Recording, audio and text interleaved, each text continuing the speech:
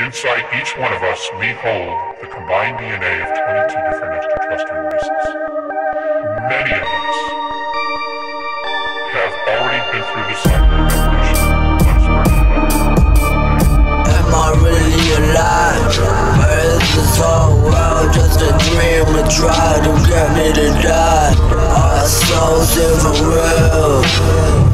What's the meaning of it all it feels to be incarnated? Oh, a whole lot just to be terminated. I'll be glad if I make it. I just a program in the matrix. I feel like getting faded.